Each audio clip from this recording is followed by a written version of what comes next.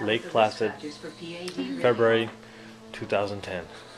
You'll find a This seven-point is Hassan admiring his uh, understand what could be work of art. He started this fire Trying, no. You'll it's not- Using, it's um, using a I'm trying- knife Recommend a symptom and cutting up pieces of PAD, his log, Survive. whether you have symptoms or not. scaring him away. You'll also learn about lifestyle treatment options.